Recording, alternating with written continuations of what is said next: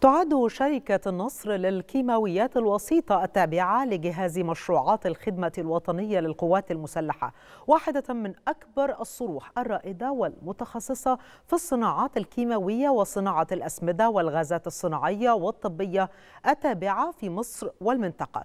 تشكل شركة النصر للكيماويات الوسيطة قلعة صناعية كبرى ضمن مشروعات قومية عملاقة لتأمين احتياجات الدولة من الصناعات الاستراتيجية والحيوية ودعم مجالات التنمية الاقتصادية والاجتماعية على أرض مصر. شركة متفردة من نوعها على مستوى الشركات والمصانع التي تعمل في نفس المجال في الشرق الأوسط. شركة النصر للكيماويات الوسيطة أحد الصروح الصناعية المصرية والتي تتمتع بقوة المنتج الوطني بالإضافة للتطور المستمر على كافة قطاعاتها ومصانعها مع التزامها بالمعايير العالمية والبيئية. تتكون شركة النصر للكيماويات الوسيطة من مجمع الصناعات الكيماوية بالمنطقة الصناعية بأبو رواش بمحافظة الجيزة والذي يعد أكبر وأقدم صرح صناعي بالقوات المسلحة حيث أنشئ في عام 1972 ويقع على مساحة تقارب 250 فدانا. شركة النصر للكيماويات تضم مصانع عدة لإنتاج الغازات الطبية والصناعية والمخصبات الزراعية السائلة والصلبة إضافة إلى المطهرات والمعقمات وخزانات ومواسير الفايبر جلاس.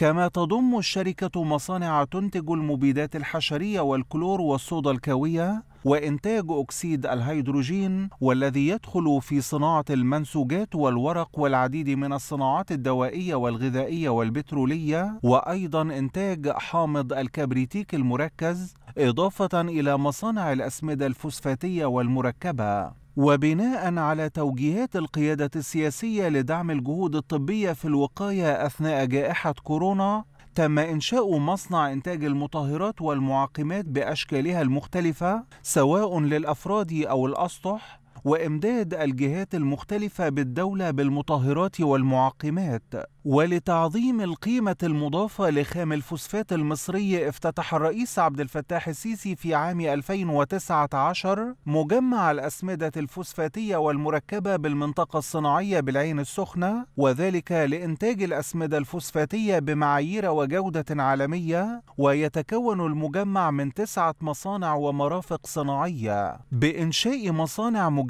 الأسمدة الفوسفاتية والمركبة بالعين السخنة إضافة إلى مصانع الأسمدة الموجودة بمجمع إنتاج الكيماويات بالفيوم يبلغ الإنتاج الإجمالي للشركة من الأسمدة نحو مليون طن سنويا لخدمة قطاع الزراعة بمصر وأيضا لتصدير الفائض إلى نحو 55 دولة. في ظل الظروف المحيطة التي تعصف بالعالم أجمع من حروب وأزمات اقتصادية طالت الجميع لم يعد للأوطان من بد في الاعتماد على أنفسها من خلال تطوير قدراتها الصناعية والزراعية والتجارية على حد سواء.